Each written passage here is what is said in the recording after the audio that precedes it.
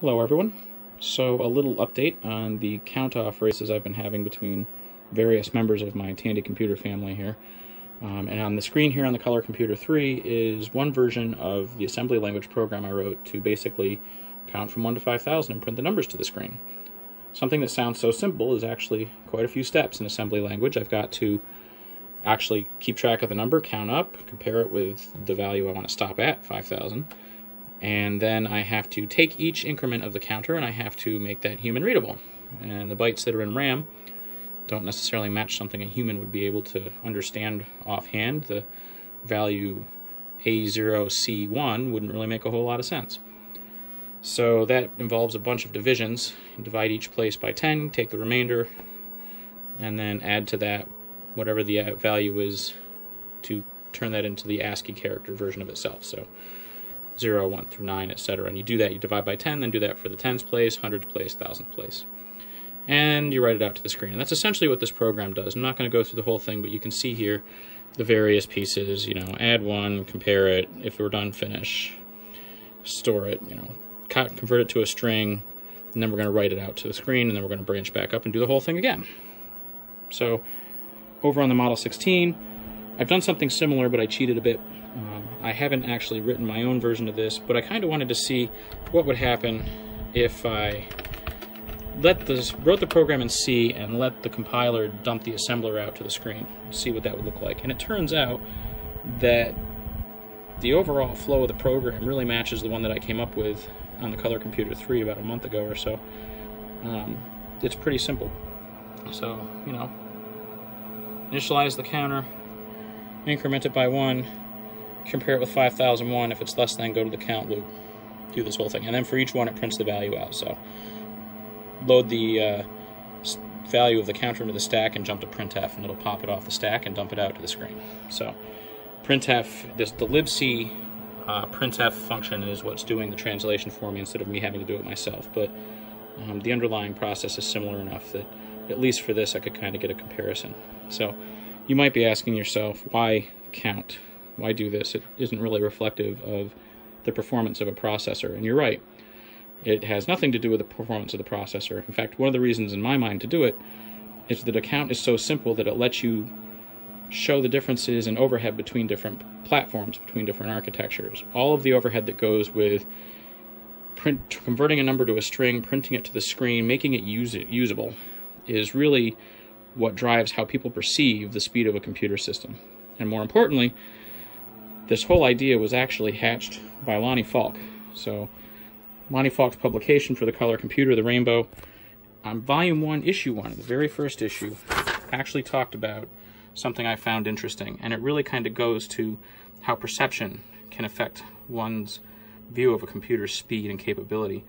And that's where he tells you if you want to see our Radio Shack store manager's eyes boggle, just put a color computer next to a Model 3 in a store, write a short for next loop to count the numbers from 1 to 1,000, and then run them at the same time. And can you guess which wins? Yep, old color computer. Which is interesting. Um, when I've raced the color computer in the Model 4 in Model 3 mode, the Model 4 wins, whether or not I print the numbers. So it's close, but I don't know if that's uh, variations in the Coco 3 and the Model 4. The Model 4 and Model 3 mode is at 2 megahertz, but anyway, that is what it is.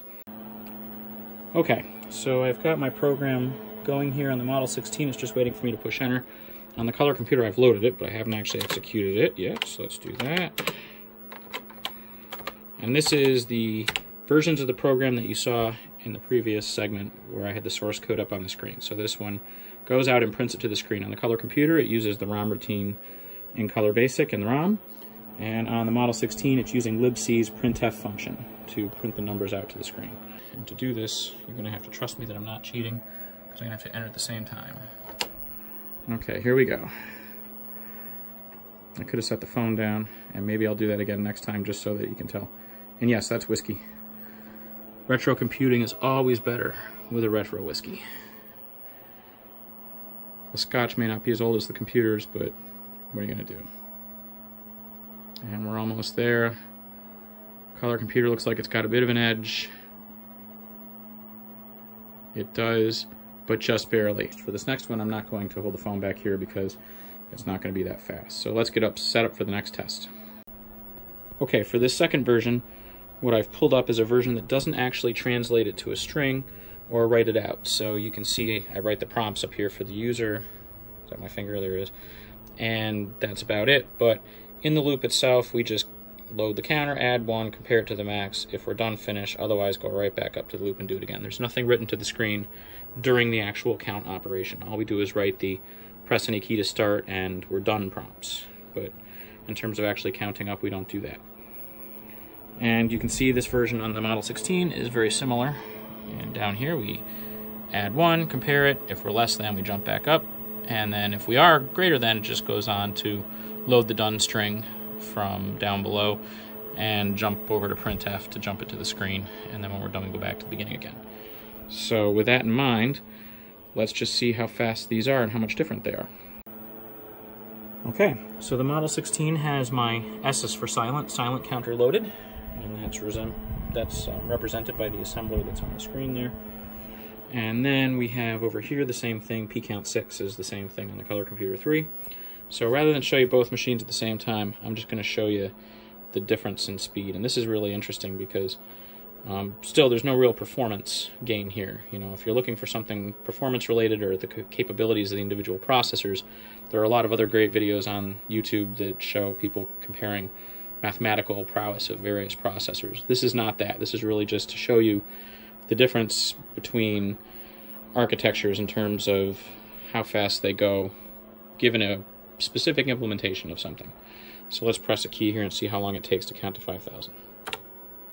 And that's it. It takes less than half a second. I can get my finger off the key, but it doesn't actually...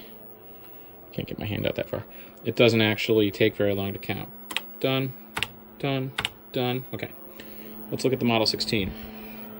Model 16 is interesting because it's instantaneous. It's faster than the Color Computer 3 and you might think it's faking it, but it really is. It's counting to 5,000. The thing is, all of the time spent in both of those programs has nothing to do with the count. It's all time spent translating whatever the current index value, whatever the increment is, to a string and then printing it out to the screen. And that's one of the things that you'll find is the overall speed of these machines really comes down to a mix of things how the hardware and software are implemented and how the machine itself is is designed and also how you write your program. So I'll give you an example of that over here on the color computer. So on the first version of this that printed things out to the screen, it went through the ROM routine. Well, I have another version that cheats a little bit, and I'll show you that. Okay, in this version of the program, this is similar to the first one, except that I've made one big change.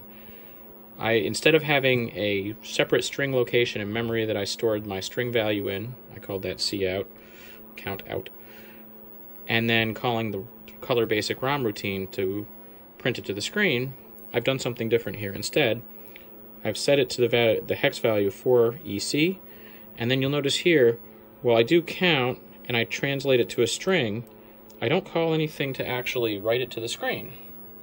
I just count increment. Is it less than or is it less than? Yes or no?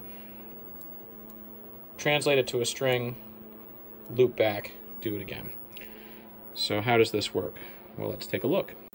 Okay, so the way that this works is that the color computer's display is memory mapped and I can easily directly access it for EC, comma 65. You see the letter A there. And that's essentially what my program is doing. All I've done is cheated and said that the storage location for the string version of the increment we're counting at will be stored in a memory location that just happens to be in the middle of the screen. And when that happens, the machine will put the letter there and update it. I don't have to tell it to. So let's see this in action. Will it be faster than the other version where I was going through Color Basic to tell it to print the characters out?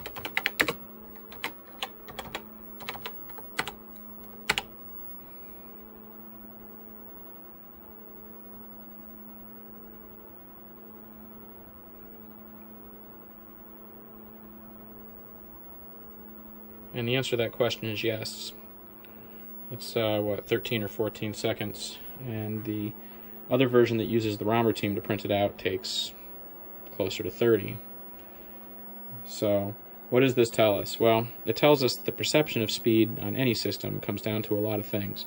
How you write the program, and whether or not you take advantage of the hardware, how efficient you are, the language you use. I used assembly for these, and I used C over here, and then dorked around with the assembly, the output a little bit, but I let the compiler write it for me. But on this side, I wrote it myself. But either way, essentially what we're talking about here is how efficient a, very, a given programming language is. And just to drive this home, we're going to do one more. All right, so the last one of these. Um, in this version, I have a basic version of the first program, and all it does is run from 1 to 5000, and it prints the numbers out to the screen with a space between them, just like the assembly output. 1 space 2 space 3. So we're going to give this a run, and we're going to see how it compares. And believe me, you might say, why didn't you do these in order? You're going to be able to tell. So let's go. And as you can see already, this is not fast. Um, we probably would have been to a thousand by now on the assembler one or close, and this one we're not even there yet. In fact, I'm not going to make everybody suffer through waiting for this to count to 5,000 because we've got other things to do. So why is this? Well, BASIC is interpreted, of course. So it's got to, for each line, over and over, it's tokenized basic, but still it's got to read and follow the token, execute the instructions, come back and do the same thing. It basically has to translate each line over and over again in addition to actually performing the operations. So why get into this? Well, because I think the biggest lesson here is that regardless of what problem you're trying to solve or how fast the computer system, how you write the code, what you write the code in, how efficient you are, and how you store your data can have a profound effect on the speed of the system.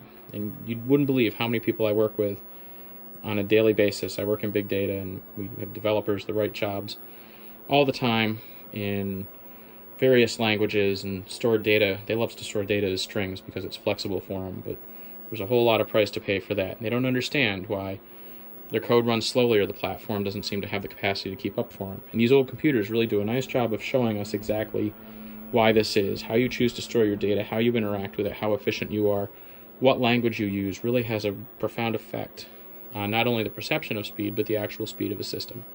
And that's one of the reasons I chose the count here. The count is irrelevant. I'm not talking about mathematical computation, I'm really just talking about efficiency here. And you can squeeze a lot more performance out of a lot less horsepower if you choose the right language and you store your data as efficiently as possible. But that takes a lot of thought and a lot of time.